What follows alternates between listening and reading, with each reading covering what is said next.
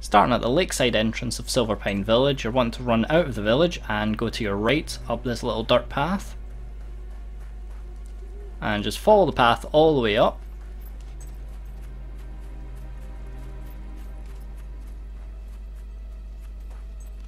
And the key will be at the end of the path.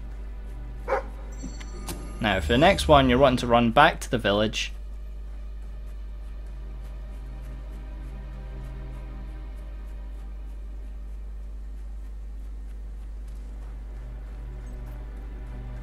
and once you've entered the village on the kind of right hand side um, there'll be a mine shaft.